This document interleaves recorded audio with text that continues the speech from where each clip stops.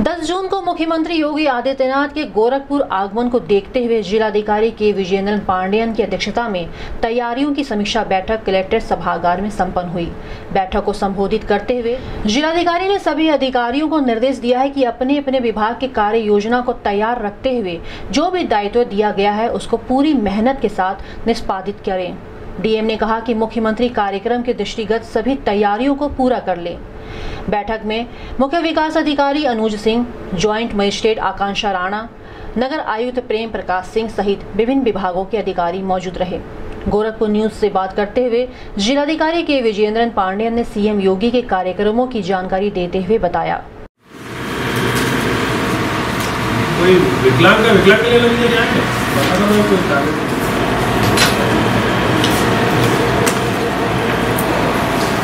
बता दो मैं कोई target। बाकी सीएमओ साहब है सीएमओ पास से एंबुलेंस की व्यवस्था करा लेना है वहाँ। थोड़ा खड़ा हो जाएगा परसों। पुलिस का व्यवस्था की मजिस्ट्रियल ड्यूटी एडीएम साहब अभी लगा देंगे। जब तक होने को भेजा हूँ तो वो लगा देता हूँ बाकी फ़ंक्शन सारे प्राइवेट ही लगा हुआ है यूनिवर्सिटी में तो बात पत्र का है। सभी को समझ मिल जाए ठीक है?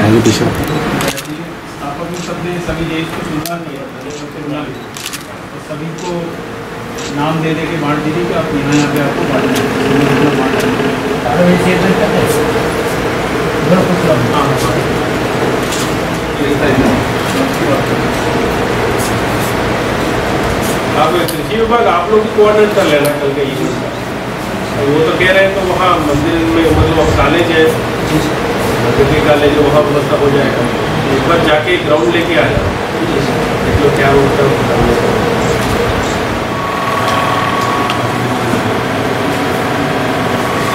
तो उसके बाद ये जाएँगे, उसके बाद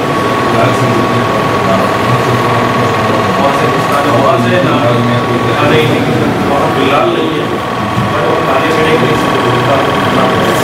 वो लंच का टाइम आएगा लंच का हो जाए ये के लिए साथ कोई आ सकते हैं मुख्यमंत्री जी का आगमन है। कल परसों दो दिन यहाँ रहेंगे। कल दोपहर बारह बजे के आसपास आएँगे। यहाँ का जो कृषि विज्ञान केंद्र बन रहा है चकमाफी में, उसका निरीक्षण करेंगे। उसके बाद यहाँ लोकल कार्यक्रम एक दो है। उसके बाद अगले दिन यहाँ का गोरखपुर क्लब में तमाम विभिन्न कार्य योजना का जो शिलान्यास लोकार्पण करेंगे। फिर जो अभी भर्ती चल रही है, जो बच्चे का जो उस पर अभियान के तौर से तो उसी लोगों का जो नया नियुक्ति पत्र भी बांटेंगे। ये कर